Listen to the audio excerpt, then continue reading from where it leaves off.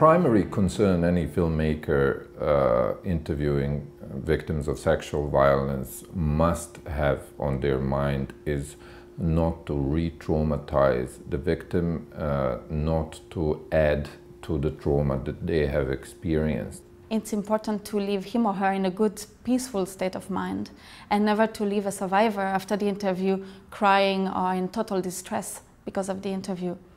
So make sure as an interviewer that when you ask questions, you at the end of the interview um, talk again about lighter topics that are not so controversial and um, that allow the, the survivor to calm down a little bit and to feel better. Speaking as someone who's given a, a bunch of interviews in different settings, um, I think the most comforting and sort of um, closure giving way of ending an interview is for the interviewer to ask me if there's anything else that, um, that I want to share or if there's something that I've missed. Let them know what comes next, what is the timeline of your production of your video, uh, when they can expect to see it, and ensure that they will be able to see it prior to it being released to the audience that it's intended for. It's incredibly important to include a resource for survivors to get help and any kind of work related to sexual violence. Um, oftentimes, stories of survivors or content can be triggering or can also be really motivating for somebody um, who is suffering and who has yet to take that first step to getting help. So it's not just that you're going to walk in there, pick the interview, and walk out, because that to them will be quite offensive. So it's those other um, mechanisms that you're going to build around the interview that matters a lot. The interviewer might uh, give the possibility or contact information of therapists or mental health professionals who can maybe help the survivor um, in his trauma or her trauma and help them go beyond it and start again a normal life.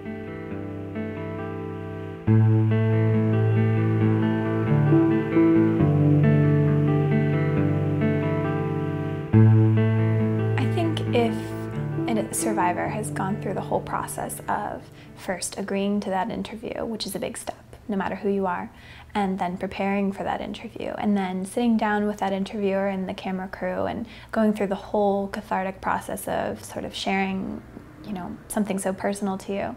I do think it's just, um, I think it's just a simple act of respect toward the survivor that they would be able to see the finished product before it is disseminated. This way they can know what to expect. It can alleviate some of the anxiety and if they see something that they change their mind about sharing, then it can be taken out prior to the release. Their personal circumstances can change. They may not feel comfortable in having their story told at all, or they may not feel comfortable to have it released the way that it was filmed. Maybe uh, uh, initially they have agreed to be interviewed without any protection measures. Uh, but then in the meantime something happened that uh, caused them to want uh, their identity to be protected. So for all these reasons to ensure that we are not re-traumatizing uh, the survivor, the final version must be shared with them before it is released.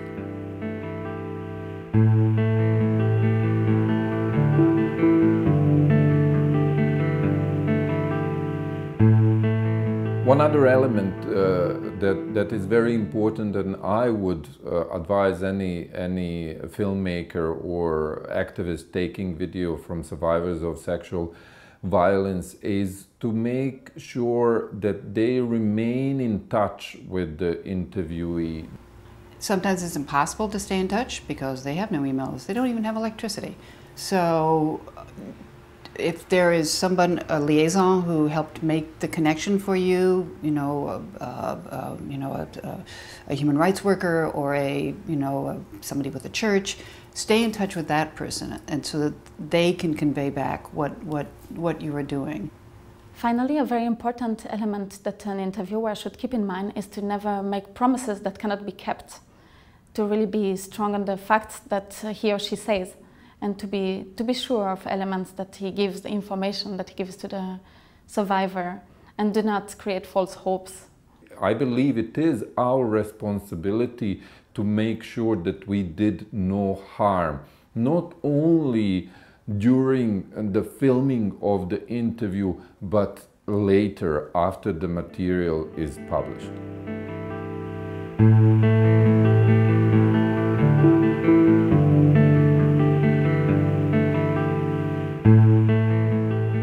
Things that I like to tell people who are planning on doing more than one of these kinds of interviews is that it's really important to take care of yourself and that self-care is a really essential aspect of doing this work well.